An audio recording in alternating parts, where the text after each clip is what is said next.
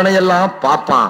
அயோக்கியன்னு சொல்றானோ அவனை நீ யோக்கியன் என உங்க சமுதாயம் விடுதலை பெற்றும் பெரியார் சிம்பிளா சொல்லி கொடுத்தாரு. பெரியார் ஒருத்தர் தான் ஈஸியா இந்த பாப்பானுக்கு முதல்ல நம்மள வாடா போடான்ட்டு இருந்தான். டேய் ராமா இங்க வாடா டேய் வேலா டேய் குப்பா டேய் சுப்பாமா. இவனை எப்படி சாமி ஐயான்னு கூப்பிட வைக்கிறது? இவர் சொன்னார்ல தச்சன் மரம் அறுப்பான் ஒட்டன் ஓடுமேவான் ஐயர் மந்திரம் ஓதுவார். இவருக்கு இரு அவனுக்கு இன்னு விகுதி போட்டு அழைப்பான். ஆ? அதுக்கு பெரியார் என்ன பண்ணாரு? இவன் வாயில ஐயா துரைன்னு கூப்பிட வைக்கணும்ட்டு ஐயா சாமின்னு பேர் வச்சு விட்டார். துரசாமின்னு பேர் வச்சு விட்டார். சாமி துறைன்னு பாப்பா வேற வழியெல்லாம் கூப்பிட்டாங்க சிம்பிள் லாஜிக் அவருது அவர் காலத்துல இந்த ஐம்பது வருஷத்துல உண்டானதான் துரசாமி ராம்சாமி ஐயா சாமி.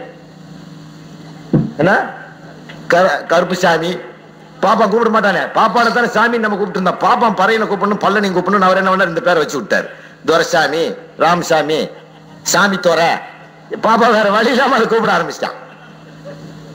அவர் ரொம்ப சிம்பிள் லாஜிக்கு அவளை செகண்ட்ல பேசி முடிச்சிருவார். ஊட்டிக்கு வந்தா எங்க வீட்டுல தான் தங்குவார் ரொம்ப நாளா.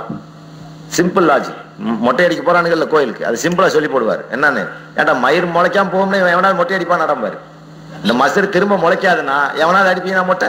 திரும்ப முளைச்சிருங்கிற நம்பிக்கையில போய் அடிக்கிறது. ஏன் கண்ணை புடிங்கி கொடுக்கறது காதை புடிங்கி கொடுக்கறது நாக்க புடிங்கி கொடுக்கறது? சாமிக்கு உசிரியா கொடுக்குற.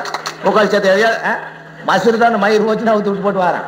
மறுக்கா முளைக்காது மறுக்கா முளைக்காதுங்கிறது வந்து அவன் கொடுப்பானா? ரொம்ப விவரமா பார்ப்பான் நம்மள. ஸ்பாயில் பண்ணான். ஏன்னா சிம்பிள் அவருடைய லாஜிக் ரொம்ப சிம்பிள் லாஜிக்கா இருக்கும்.